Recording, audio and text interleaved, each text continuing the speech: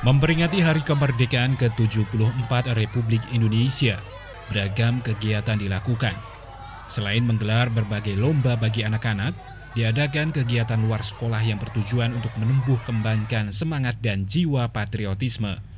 Kelompok bermain dan Taman Kanak-Kanak Budi Mulia II Pandian Sari melakukan kegiatan kunjungan ke Museum Monumen Pahlawan Pancasila di Komplek Batalion 403 Kentungan.